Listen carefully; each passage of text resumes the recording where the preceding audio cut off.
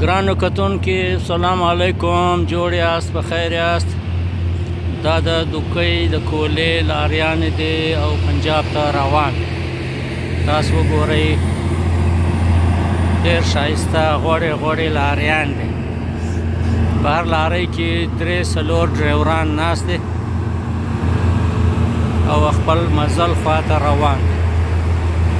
زبردست د لارۍ ډرایوران غوښې ډېر خوښوي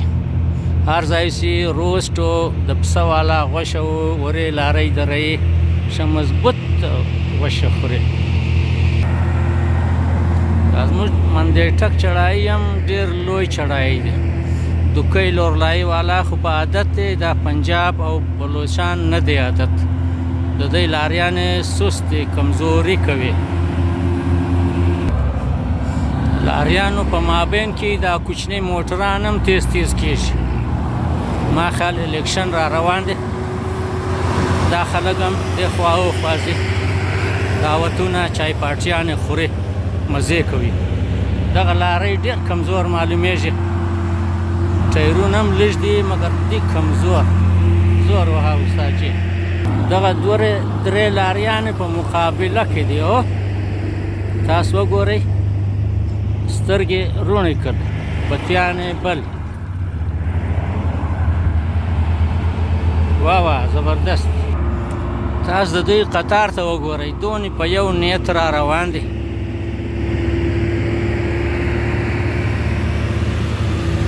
ماشاءالله ماشاءالله ښه ډېر کولی اوسئ لا خو ښه ډېر راشن او خښتې مشتې راوړئ او دغه درې هم ماشاءالله زورور لاریانې دي ډرایوران هم خوشحال دي دغه لارې بیا یو نظر وګورئ استادان پکې پټ ناست دي د ټریکټر ډرایور سي دي شکر دي ښکاره وي ټول خلک ویني چې هغه د ګلخان ماما رالی د دغه پټې دي شیشې هم تورې دي چمک پټې هم ټول لګولې دي نو ګرانو کتونکو تاسو خوا مه بدوي زما پښتو لږ خراب دی لږ ګډوډ دی یاره ګریمر له خوا لږ کمزور یم دا وګوره لاریان ډیر ښه په نیت روان دی نه خبره خپل نیت کړی دی که په زور چا ور باندې نیت کړی ډیر خوندور موسم دی ډیر شایسته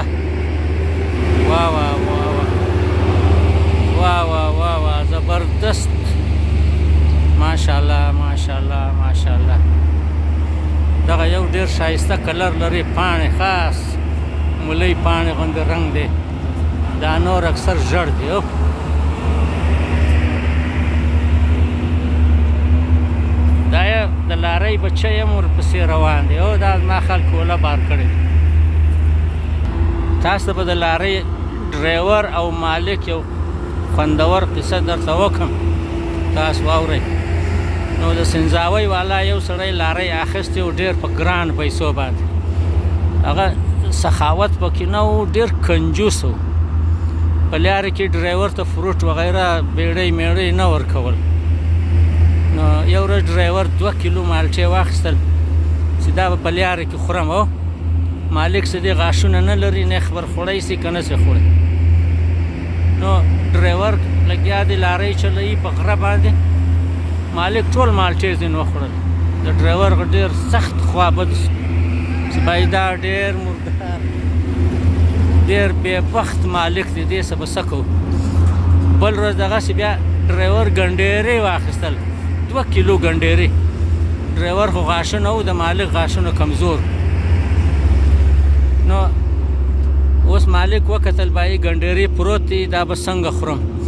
استاد ته ول استاد تر تا جار سم دا پلاس خوراک یو ارلش کار نه غوښ ول خان صاحب دا پلاس څه کوي ول ما په کار دی په لاس یې واخیستل ګنډېرې تیلې یې خلاص کړل دا ګنډېرې په خوله کې داسې جوس وویستل چې شتېدل ټول ګنډېرې له مالک له ډرایور څخه بیا وخوړل ډرایور حیران پریشان سو بیا به څه کوو دغه سلسله روانه وه آخر کې بیا دواړه راضي بازي سو او یو د بلغه دغه نه کول ښه خراباتونه کول ګرانو کتونکو ما یو یار دی هغه لارۍ ډرایور دی اوس ریټایر شوی دی ما پوښتنه وکړه ما تاسو دا ټول لاریان ډرایوران بیړۍ سیګریټ دا نور خراب سیګریټ ولې کوي ول په دغه کې یو راز دی مال چش دی ولیا نه درشي مال راوې شي منه زه چاته حال نه وایم دوی ول بای موږ مړیان ډیر خورو په نس کې ګیس جوړ سي هغه ټیم موږ بیړې بل کو دک جوړ کو هغه بیا دک سي دی په هغه کې په بوی او دک سره یو رنګ سي نو دغه د پاره ډرایوران ټول بیړې سکي ما یار پروا نه ست یار ګیس مې سره څه کیږی دوه خوندی سره روڼه دی نو څه کیږی ته ها دا ګیس راغلی اسمان خو نه نړیږی ولیا بس دا اوس رواج شو نو ټول ډریوران به بیړی سیګریټ کوي نو ګرانو کتون کې د شپې که یو لارۍ را روانو هغه ته به لیار ورکوي ولسې لارۍ والا ډریوران بې خوبه وي ستړی وي کله کله دوی په خوب کې هم ګاډۍ چلوي او تاسو ډیر احتیاط کوئ که بس دی که موټر دی که ټکټر دی شه له روډه ایسته وباسئ ولې دی را روان دی دې ته یو ډیپر ورکړئ که هغه ډیپر درکړل خو واوه ویښ دی که ډیپر نه و بیا نو ځان ځین ګورئ که نو دا چختڼ پختڼ به وي ټول دوی به هم خوږي تاسو به هم خوږي عزیزانو د لاریانو غه زما خیال دی د قافلې غه آخري لین دی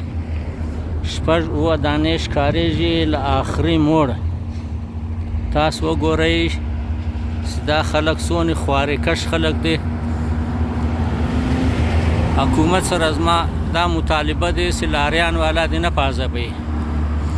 که لاریان والا ډېر په عذاب سو تنګ سو تنګ آمد به جنګ آمد دوی بیا اړتال کوي روډونه بندوي راشن نه راوړي نه مال وړي نه راوړي نو کتاس دوی باندې لاسونه اچوي پازابوي آزاري کیږي او په دنیا کې لوی کار دغه دی چاته آزار مه ورکوه خاص کر ډرایوران صاحبان ته دا د خپل مور او پلار نازولې خلک دی دوی هر وخت خواري کاږي شپه او ورځ ځان بې خوبه کې موږ د پاره خدمت کوي عوام د پاره حکومت دی دا روډونه کډیانې دا جمپونه دی هم برابر کې ختم کې کډیانې ختم کې سیدا خلک خپل لارې شچسپاند یوسي راوړي عزیزانو دا د ټول د لار کولې لاریان دي د دوکۍ څخه کولې باسي او پنجاب ته وړي پنجاب والا په کارخانو کې استعمالوي خشتې پخوي اورونه بلوي او او تاسو ځان خبر کړئ دا د نامې لارۍ تیر سو په چړای کې هم کراس اخی دا بل یو لږ سست معلومیږي زما خیال کمزور دی لارې ډېر چلیدلې دی نو ګرانو عزیزانو دوستانو زما د ویډیو کتن کې ویډیو ته لایک ورکړئ له عزیزانو سره شیر کړئ زما پښتو لیش کمزور دی بخښنه غواړم او نو تاسو ما د پاره دعاوي کوئ الله می په امان ساتي روغ جوړ اوسئ زنده باد خدای پامان د فقیر حسین غا لوی لوی بندل بندل سلامونه قبول کړئ زنده باد